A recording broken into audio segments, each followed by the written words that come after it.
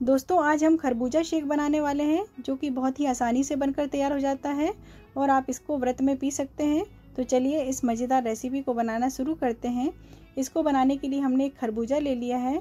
तो खरबूजे को हम कट कर लेते हैं और इसके जो अंदर का बीज वाला पोर्शन है तो सारे बीज को हमको हटा देना है। और ये जो बाहर का छिलका है, छिलके को भी हम हटा देते हैं। तो इस तरीके से हमने सारे बीज और छिलके हटा दिया हमने एक साइड। अब इसको हम छोटे छोटे स्लाइस में कट कर लेते हैं और इसको मिक्सर जार में ट्रांसफ़र करते हैं और साथ में ही इसमें हम स्वादानुसार चीनी ऐड करेंगे।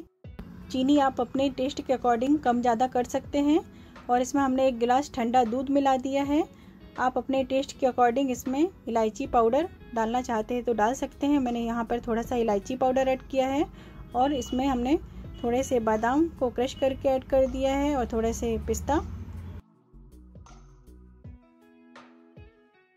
और इसमें हमने थोड़े से आइस क्यूब डाल दिया है तीन से चार, क्योंकि शेक तो थोड़ा ठंडा ही अच्छा लगता है। इसको हम अच्छे से पीस लेते हैं और ये देखिए हमारा झटपट से शेक तैयार हो गया है। तो आप इसको व्रत में इंजॉय कर सकते हैं। आप इस गर्मी में इसको ज़रूर ट्राई करें।